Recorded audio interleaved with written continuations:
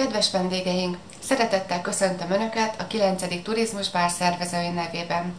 Nagy örömmel tölt el bennünket, hogy ilyen szép száma jelentkeztek a rendezvényre, amely e hét szombaton, március 2-án kerül megrendezésre az olimpiai sportpark csarnokában. A kapunyítást fél hatra tervezzük, azért, mert egy kiállítást is terveztünk a bál előtt az Önök részére.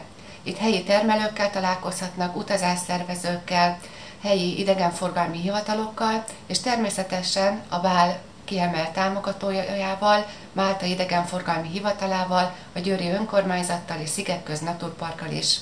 Kérjük Önöket, hogy érkezzenek időben, hiszen ezeket a rendezvényeket, ezeket a kóstolókat az Önök érdekében, az Önök munkájának, az Önök hétköznapjainak megkönnyítése, színesítése érdekében szerveztük.